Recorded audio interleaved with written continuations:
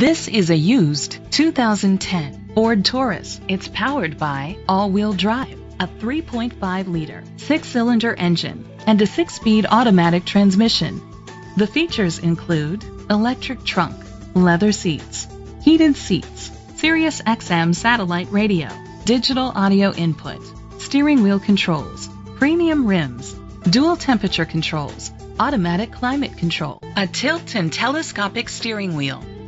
Safety was made a priority with these features. Curtain head airbags, side airbags, independent suspension, brake assist, traction control, stability control, a passenger airbag, low tire pressure warning, front ventilated disc brakes, anti-lock brakes. Great quality at a great price.